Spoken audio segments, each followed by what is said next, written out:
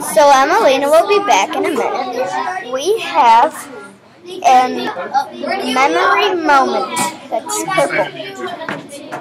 It says, "Why might the memory memory memory be important?" Important. Well, the reason why it's an, this memory is important and the reason why it is a memory moment is because he just had a really nice memory of when he walks home and how ever since kindergarten to fourth grade to the middle of fourth grade to the middle of fourth grade he's been walking and it was really cute. He's been walking to the school trying to avoid trying to be called Stinkfish, Stinkfish.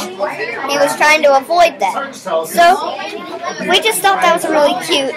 Um, it was a very heartwarming memory, memory moment. moment. Um, Emily is still not here. See you in the next video. Bye. Bye bye. Thanks for watching.